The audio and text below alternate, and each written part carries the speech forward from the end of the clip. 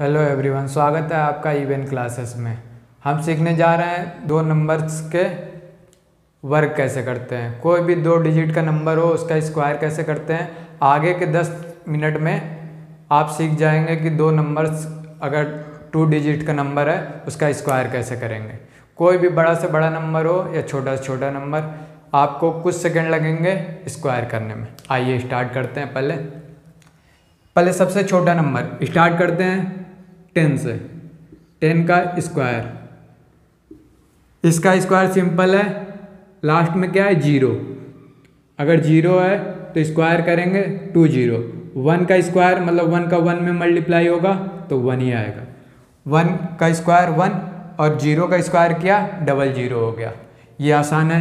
इसी तरह for example, fifty ले लें। पचास लिया, पचास का स्क्वायर करना है तो लास्ट में ज़ीरो आ रहा है। तो ज़ीरो का स्क्वायर डबल ज़ीरो हो गया। फाइव का स्क्वायर, ट्वेंटी फाइव। पाँच का वर्क करते हैं, पाँच का पाँच में गुड़ा होगा, पच्चीस आएगा। इसी तरह कोई भी अगर जिसके लास्ट में ज़ीरो है, उसका स्क्वायर करना आसान होता है। ज़ीरो वाले का डबल ज़ीरो हो जाएगा। सात का स्क्वायर, उनचास। ये ज़ीरो वाले का स्क्वायर। ज़ीरो वाले स्क्वायर समझ में आ गए होंगे। इसके बाद हम आगे बढ़ते हैं। जिसके लास्ट में फाइव हो ऐसा नंबर जिसके लास्ट में फाइव हो। फॉर एग्ज़ाम्पल सबसे छोटा नंबर फिफ्टीन इसके बाद अगर कोई भी नंबर लेना चाहे forty five for example ninety five कोई भी नंबर, अगर इसका स्क्वायर करना है तो कैसे स्क्वायर करेंगे? कुछ सेकंड लगेंगे। आज के बाद आपको मल्टीप्लाई नहीं करना पड़ेगा। फिफ्टीन का स्क्वायर लास्ट में क्या दिख रहा है? फाइव है। सबके लास्ट में फाइव है। तो फाइव का स्क्वायर ट्वेंटी फाइव फाइव का स्क्वायर क्या होता है? ट्वेंटी फाइव वन का, अब वन के बाद क्या नंबर आएगा?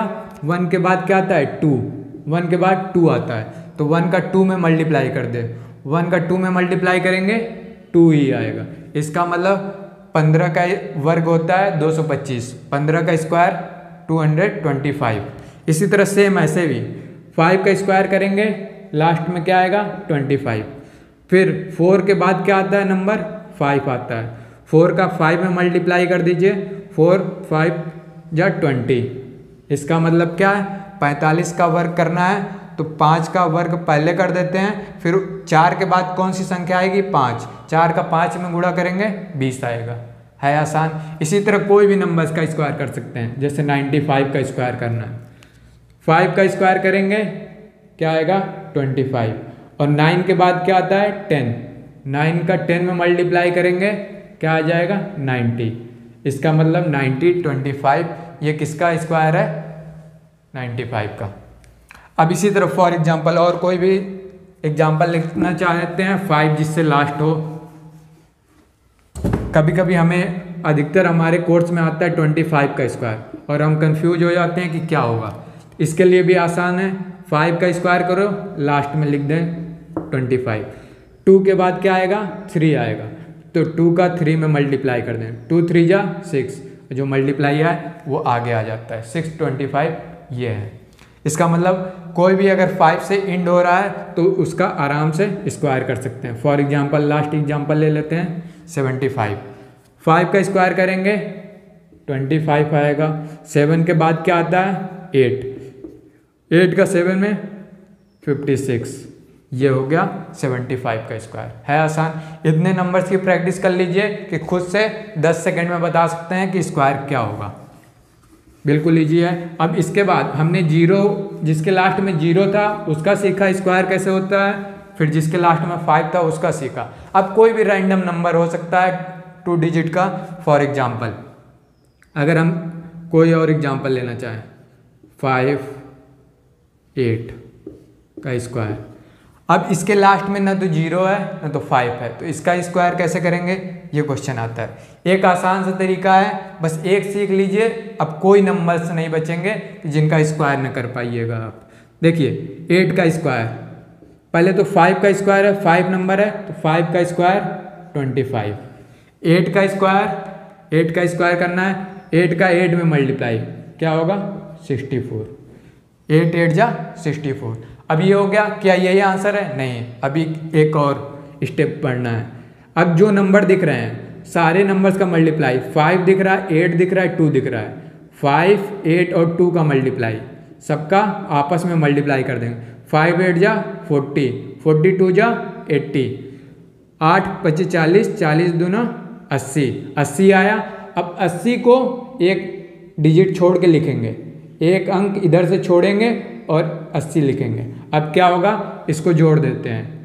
चार छः में ज़ीरो ऐड होगा छः ही रहेगा, आठ में पाँच ऐड होगा, तेरह, एक हासिल, कैरी, थ्री में वन ऐड होगा। ये आया हमारे पास फिफ्टी एट का स्क्वायर एक ही एग्ज़ाम्पल नहीं लेंगे। अब इतने एग्ज़ाम्पल करेंगे कि खुद से आप बताने लगेंगे कि स्क्वायर कैसे होगा। हमने किया क्या? फाइव का स्क्वायर ट्वेंटी फाइव लिखा एट का स्क्वायर सिक्सटी फोर लिखा। फिर जितने नंबर दिख रहे थे, सबको आपस में मल्टीप्लाई कर दिया। मल्टीप्लाई किया, फिर एक डिजिट छोड़ के, लिख के उसको ऐड कर दिया। और एग्ज़ाम्पल लेते हैं, इसके बाद आपको क्लियर हो जाएगा। फॉर एग्ज़ाम्पल अगर एग्ज़ाम्पल लेना चाहें सिक्सटी सिक्स कोई भी नंबर ले लीजिए रैंडम सिक्स का स्क्वायर करेंगे थर्टी सिक्स आएगा। सिक्स का स्क्वायर करेंगे, फिर से थर्टी सिक्स आएगा। अब क्या बताया था हमने? कि जितने नंबर दिख रहे हैं सबका आपस में मल्टीप्लाई। सिक्स सिक्स जा, thirty six. Thirty six two जा, सेवेंटी टू। Seventy two. अब क्या करेंगे? इनको ऐड कर देंगे। एक डिजिट छोड़ के लिखते हैं। एक डिजिट छोड़ा हमने, क्या आया? सिक्स थ्री और टू फाइव सिक्स और ऐड होगा थ्री और ये फोर मतलब सिक्सटी सिक्स का स्क्वायर किया फोर थ्री फाइव सिक्स आया। है जी? और एग्ज़ाम्पल लेते हैं। इससे आपको और क्लियर हो जाएगा। ये तरीका जब तक आपके दिमाग में बैठ ना जाए, तब तक सॉल्व करना है हमें। फॉर एग्ज़ाम्पल अगर कोई भी एग्ज़ाम्पल लेना चाहें। फोर्टी सिक्स का स्क्वायर करना है। स्क्वायर करना है, हमने क्या बोला? पहले फोर दिख रहा है। फोर का स्क्वायर लिखा हमने सिक्सटीन सिक्स का स्क्वायर थर्टी सिक्स ये हो गया। अब जितने नंबर दिख रहे हैं, तीन नंबर दिख रहे हैं फोर का सिक्स में मल्टीप्लाई चार छक्के चौबीस चौबीस दूना अड़तालीस। अड़तालीस आया, एक डिजिट छोड़ के लिखेंगे। एक डिजिट छोड़ के ऐसे लिख के फिर क्या करते हैं? जोड़ देते हैं। सिक्स यहाँ पे आया, आठ में तीन जोड़ेंगे। ग्यारह, छः, चार, दस, ग्यारह, फिर दो। मतलब फोर्टी सिक्स का स्क्वायर क्या आएगा? टू वन वन सिक्स है आसान? अब हम उम्मीद करते हैं कि इसके बाद आपको कोई भी नंबर्स होगा स्क्वायर करने में कोई दिक्कत नहीं होगी। लेकिन एक और एग्जांपल है, इसमें कैसे करेंगे? सेवेंटी वन सेवेंटी वन अब सेवन का स्क्वायर करेंगे, क्या आएगा? Forty nine forty nine one का स्क्वायर वन आएगा। तो क्या वन लिख देंगे सिर्फ़? नहीं। इसको टू डिजिट बना के लिखना है। हमें क्या करना होगा? ज़ीरो भी लगाना पड़ेगा। ज़ीरो वन लिखेंगे। सेवन का square forty nine zero one क्यों? क्योंकि वन का स्क्वायर वन आएगा, लेकिन टू डिजिट का नंबर बनाना है। इसलिए हमने ज़ीरो वन लिखा। इसके बाद जो नंबर दिख रहे हैं, सबका आपस में मल्टीप्लाई सात का एक में मल्टीप्लाई होगा, सात आएगा, सात दूनी चौदह। चौदह आया, एक डिजिट छोड़ के लिखते हैं। एक डिजिट एक डिजिट छोड़ा हमने, फिर लिखा। फिर ऐड किया। वन आया, फोर आया, फिर ऐड किया टेन आया, फिर ये फाइव आया। सेवेंटी वन का स्क्वायर नाइन ज़ीरो ये है हमारे पास। इसी तरह कोई भी नंबर, अगर वो सिंगल डिजिट में आ रहा है तो उसको डबल बनाने के लिए ज़ीरो लगाएँगे। फॉर एग्ज़ाम्पल अगर कोई एग्ज़ाम्पल और लेना चाहें नाइन्टी वन का स्क्वायर नाइन का स्क्वायर क्या होगा? एट्टी वन वन का स्क्वायर वन आएगा, लेकिन डबल बनाने के लिए क्या करेंगे? ज़ीरो वन फिर जितने नंबर दिख रहे हैं, सबको आपस में मल्टीप्लाई नाइन दिख रहा है वन दिख रहा है टू दिख रहा है। नाइन वन जा नाइन नाइन टू जा एट्टीन। ये क्या करेंगे? ऐड कर देंगे। वन आएगा, फिर एट आएगा, फिर टू आएगा एट टू। आप कैलकुलेटर से देख सकते हैं क्या ये सही है। सारे जितने नंबर बताए हैं, इस आसान तरीके से आप कर सकते हैं। अगर वीडियो अच्छा लगा है तो चैनल सब्सक्राइब कर दें। ऐसे ही वीडियो और आती रहेंगी। Thank you.